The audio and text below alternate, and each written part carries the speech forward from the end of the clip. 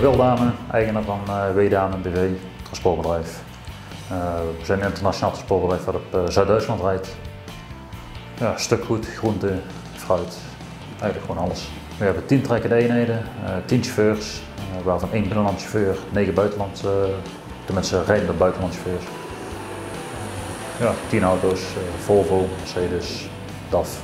We zijn begonnen eigenlijk gewoon om te kijken wat de verbruik was van de auto eigenlijk zonder verwachting erin gegaan. Uh, ja, het is echt goed uitgekomen. Uh, vandaar dat we ook Mercedes gekocht hebben, vanwege ja, puur het goede verbruikscijfers. Uh, Demo heeft bij ons een 3, 3.500 kilometer gelopen in een, in een week tijd. En het verbruik was 1 op 3,9. Het is eigenlijk heel erg zuinig, heel erg zuinig gelopen. We hebben sinds een aantal maanden nu één actros lopen. Doet het ook heel goed. We hebben nog een tweede besteld, staat op het moment bij de spuiter. En die gaat, begin september gaat die lopen.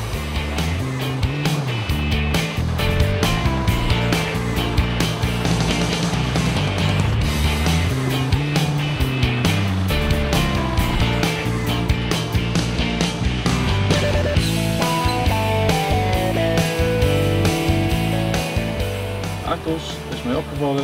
Hij is ruim van binnen, goed rijcomfort. Hij is goed ingedeeld, veel weg, plekken voor weg te leggen. Kan alles kwijt, dus het bevalt prima.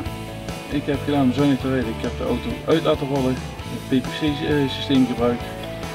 En verder gewoon rustig met je rechte voetje spelen. Dus uh, niet, uh, niet altijd met plank. Toen de auto afgeleverd werd, hebben ze mij perfect alles uitgelegd hoe alles werkt, hoe alles gaat. Dus het was perfect. Dus ze hebben rustig de tijd genomen voor alles uit te leggen. Wij rijden altijd rondom Stuttgart. Het zijn, ik heb deze auto geloof 6, 7 weken gehad, of 8 weken. Daar heb ik uh, plus minus 12, 13.000 kilometer mee gereden. En, uh, en, dat is ons gebied rondom Stuttgart, de Losseweg. En terugladen. Hij stond gemiddeld op de 6, 27 liter op de 100 kilometer. Dat was zijn verbruik.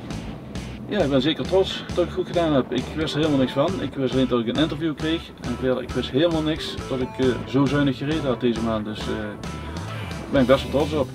Ja, deze beker die heb ik dan verdiend en die krijg ik een mooi plekje thuis.